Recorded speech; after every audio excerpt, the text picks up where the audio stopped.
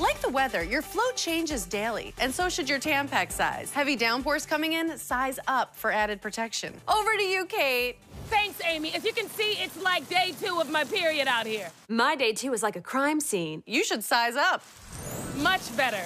But later in the week, it'll be drizzly in your vagina. If it hurts to remove, size down. I mean, who wants to play tug of war with their tampon? Back me up here, Kate. Uh, that's right, Amy, like pulling a corn dog through a keyhole. Um, Amy, what if you like think it's done and then out of nowhere it's like a flash flood? That's why you gotta pack your combo. Are we still talking about the weather? I hope so.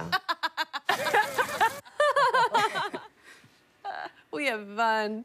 And only Tampax has a leak guard braid to help with better protection and five sizes for your changing flow. Look at the brains on Jim. Just keeping myself informed. Pack your Tampax combo. That was a great segment.